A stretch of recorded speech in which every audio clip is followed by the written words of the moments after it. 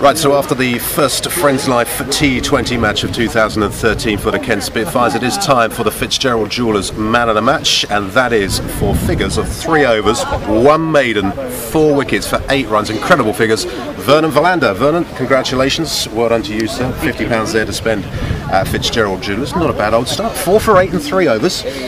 Yeah, I'd have taken that. Uh, I mean, obviously, you know, it's, it's obviously a bit tough, you know, obviously losing the game at the end of the day. But yeah, I mean, I'd have taken it. I think, you know, it's my first ball in a couple, a couple of months. Uh, but I mean, yeah, I mean, obviously tough luck, obviously losing the game, you know. A wicket maiden first up. You're not going to see too many of those. Incredible.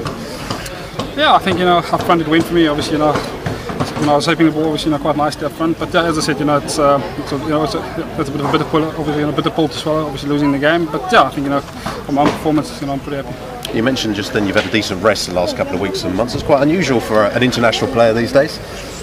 Yeah, I think you know. Fortunately, you know, I've only been playing uh, obviously you know Test cricket. So you know, you know with the break that we've had, um, you know we've got a bit of obviously I think it was a seven-month break, and uh, you know I, I, can afford obviously to take two months off. So, so, yeah, I think mentally fresh and ready to go. So yeah, hopefully you know, so there's a lot more sticks to come. Can you really take too much uh, out of a game like this when it's reduced overs? It's Duckworth Lewis, there's rain breaks. It's, it's, it's, a lottery, isn't it? Yeah, I think it's a bit of a lottery. Um, you know, obviously, it, you know, made it obviously tough for us, but you know, you know, for obviously, you know, for our boys at the back in there, um, you know, obviously, you know, the spinner as well, obviously, been tough gripping the ball, but uh, you know, no excuses. You know, we've been pulling the field, and uh, hopefully we can pick it up for next game. Uh, yeah, and that next game, Surrey here on Sunday, so not much too uh, too much time to dwell on things here.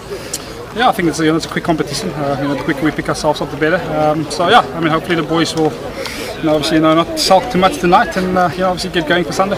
Well, no need for you to sulk. Incredible figures: three overs, one maiden, four wickets for eight runs. Vernon Philander is the Fitzgerald Jewelers man of the match. Thank you very much.